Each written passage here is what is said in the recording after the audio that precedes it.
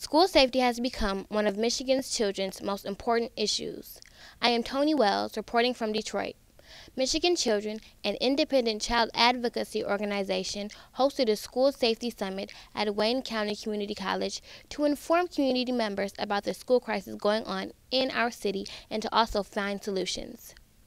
According to reports from Michigan's Children, 21% of students in Detroit who would have graduated on time during the traditional four year high school path in 2008 left high school without a diploma. Another 1,300 did not graduate on time.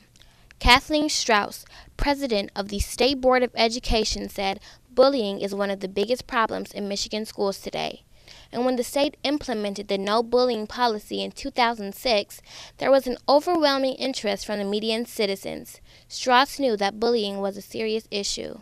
It's about keeping schools safe, uh, the importance of having safe schools in order for to create a good learning environment for children. They can't learn if they don't feel safe in the schools they have to have safe routes to school so that they can get there and get home again without being attacked or something bad happening to them. We have a high number of kids in the city of Detroit who have missed at least one day of school in the last month because they're afraid to go to school. Now, this is not a, uh, a good thing for kids. If they're not in school, they're not going to be learning. So, we need to figure out what it is that makes them feel safer and so that they come to school and they're ready to learn and they're not stressed out and they're not worried about what's going to happen with the gang after school. Uh, and this takes everybody participating in this. I mean, it's not a police issue alone, it's not a school issue alone, but it's a community issue. Various advocacy groups, along with the Detroit Police Department, are actively involved in school safety issues and fully support the efforts of Michigan's children. Well, school safety is everybody's issue. Uh, it's not it's a local issue. It's a state issue. It's a national issue. You know, one of the things that we really need to do is to ensure that kids are have a safe environment to, from, and in school.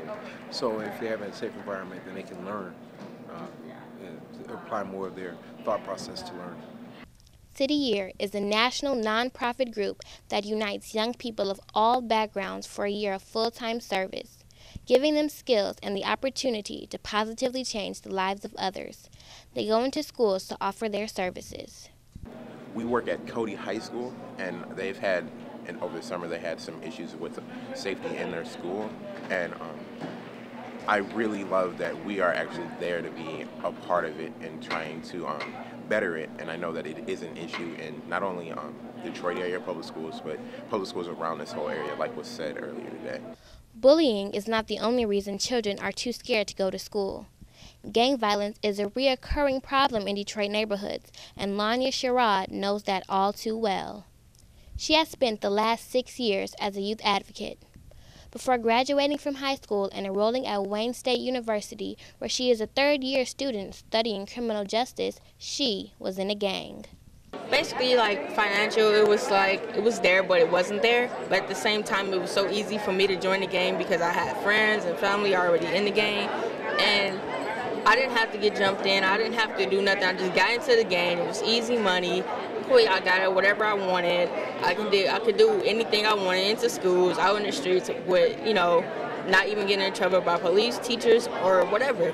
But it was easy for me to pass because I had teachers that was on my side. Uh, security guards never checked me because they already knew me.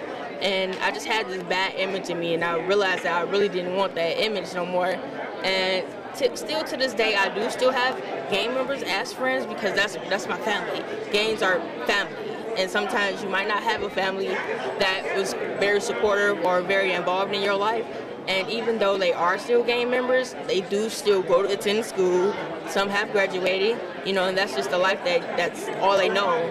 Parental involvement is like one of the overarching issues uh, in the city, and trying to get parents to, to value their children's education and to you know be engaged to make sure that the kids are where they're supposed to be and doing their homework and supported uh, for their work. If, they, if, the kids lack that kind of support, they're, they're susceptible to being lured or influenced by other people, negative people, like people in gangs and stuff like that. So parents must step up. They have to be involved in this. If they're not, uh, the chances of success for their children really, really go down.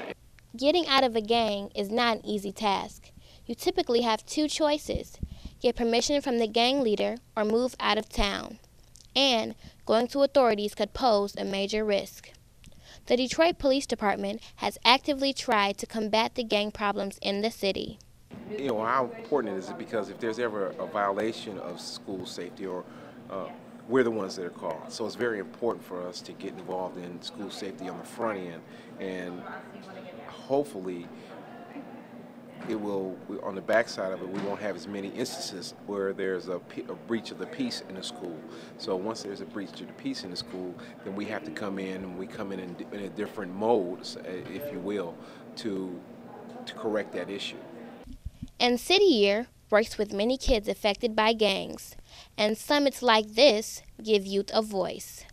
City Year Detroit is a national nonprofit for 17 to 24 year olds that commit their um, 10 months to full time community service, mentoring, tutoring, um, and running after school programs in um, area public schools. So in the city, it'd be Detroit area public schools.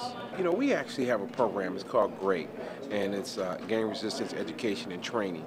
And what that does is it, it actually talks to kids and empowers kids that they can say no to gangs, so that they can they can absolutely and positively know that they don't have to be in a gang to to go to a school. They you know it shows them different avenues, conflict resolution, how to get out of uh, be, if you're invited into a gang, how to have that self-esteem so you don't need a gang. If you want to have a gang, let's have a gang of academics. You know, let's have a gang a, a gang of individuals who do the right thing.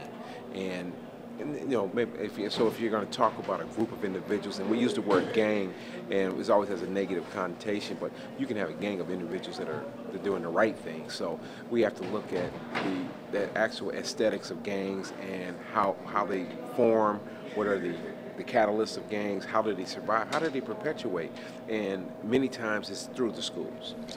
And as those people said during the School Safety Summit hosted by Michigan's Children, everyone can make a difference.